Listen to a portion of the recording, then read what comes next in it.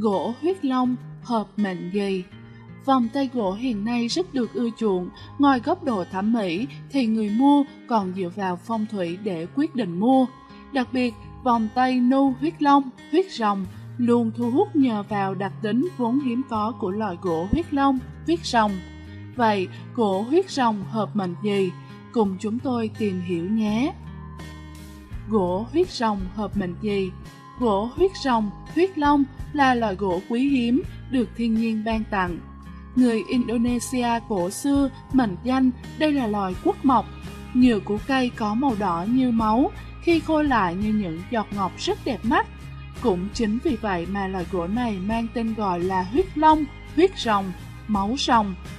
Khi soi dưới ánh nắng hoặc ánh sáng của đèn flash, gỗ huyết rồng phát ra ánh sáng màu đỏ rất đẹp mắt. Gỗ huyết rồng hợp với người mệnh hỏa. Trong phong thủy, sắc đỏ hồng của gỗ huyết long này hợp với những người mệnh hỏa.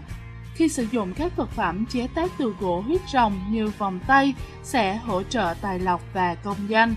Những người mệnh hỏa sinh vào những năm sau Giáp Tuất 1934-1994 Mậu Tý 1948-2008 Bính Thân 1956-2016 Giáp Thìn 1964-2024 Bính Dần 1986-1926 Mậu Ngọ 1978-2038 Ất Hợi 1935-1995 Kỷ Sửu 1949-2009 Đinh Dậu 1957-2017 Ất Tỵ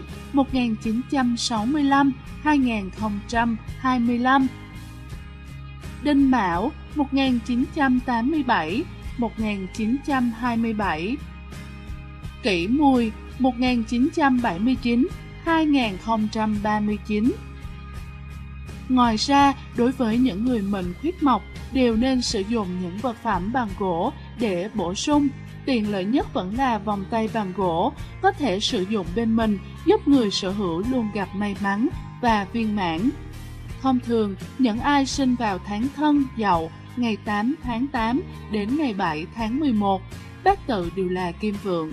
Do đó, mộc là dụng thần quan trọng nhất. Người xưa lưu truyền rằng ánh sáng của gỗ huyết rồng giúp cho người sở hữu tránh khỏi tai ương, mang đến sự may mắn và niềm tin về sinh sôi, thịnh vượng và thành công.